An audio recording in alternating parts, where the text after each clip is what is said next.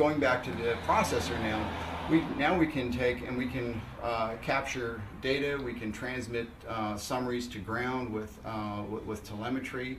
Uh, we can do video recording, video capture. We can capture video uh, real time, store it on the rocket, as well as relay it to ground. Uh, so all of these new technologies that are enabled by the new processors is just phenomenal. It, take, it takes what we can, our scientific payloads to a whole new level.